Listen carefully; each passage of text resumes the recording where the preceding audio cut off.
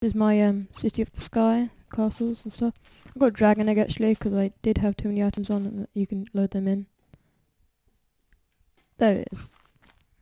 I don't think they actually work in Out of the Nether. I mean the end. Where am I getting the Nether from? It's the end. I used to think it was Ender, but yeah, they changed it. If you know, if you didn't know that.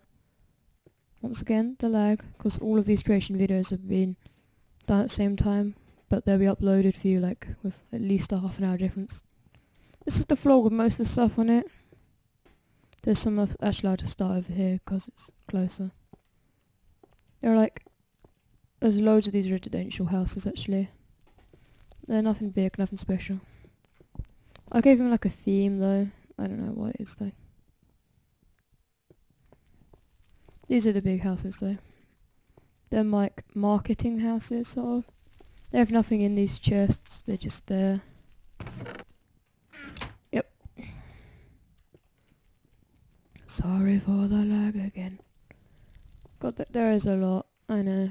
Let's go. And this is like their residential part. But yeah, this is like shop houses. Underneath, this looks a bit weird.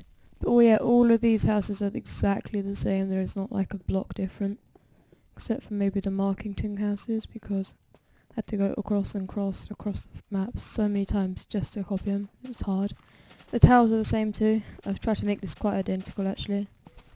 And there is not anything on the second floor. If you think and you got any suggestions for what should go up here, then just say. But yeah, that's it really. The tower. It looks quite cool up from here. From up here. It looks like it's actually got wheels. That actually looks quite cool.